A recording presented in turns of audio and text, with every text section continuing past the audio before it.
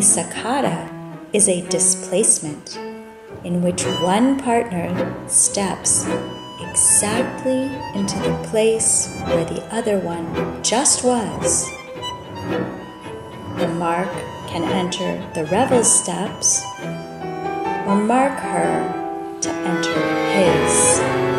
There are six sacadas to every step two front, two back, one of which is called the fourth sacada because it requires breaking the embrace, and two side, which are modifications of the front steps. The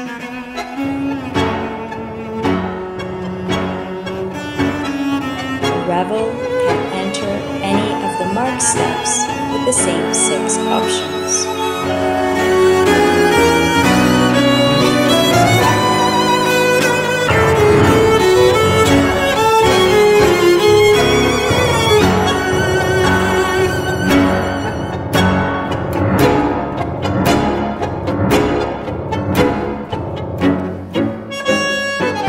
Of course, we can enter side steps, front steps, and back steps.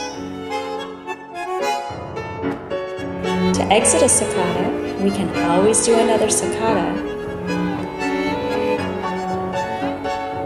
or a boleo